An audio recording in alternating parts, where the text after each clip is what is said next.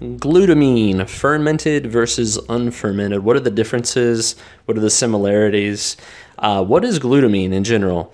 It's an amino acid and it's tasteless, odorless, and it's basically just white powder. You can mix it into any drink that you have, and the only thing that you're going to notice is that the drink becomes slightly more grainy, just depending on what kind of drink it is what does it do? So the purpose of it is to synthesize protein, and what that means is that it aids in protein being absorbed into your muscle.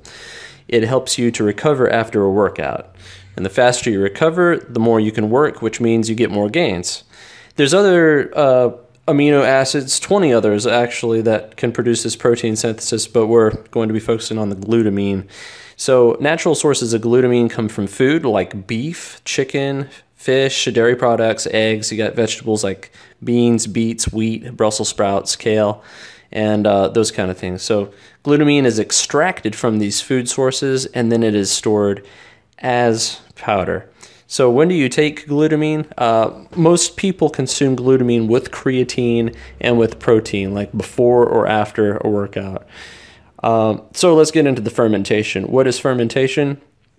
it is the aging process inside of foods. So, like grape juice, for example, when stored and aged for a while, that grape juice slowly turns into alcohol, making wine. Uh, kimchi, for example, you got vegetables and you put vinegar inside a jar, close it up, let it age for a while, it ferments.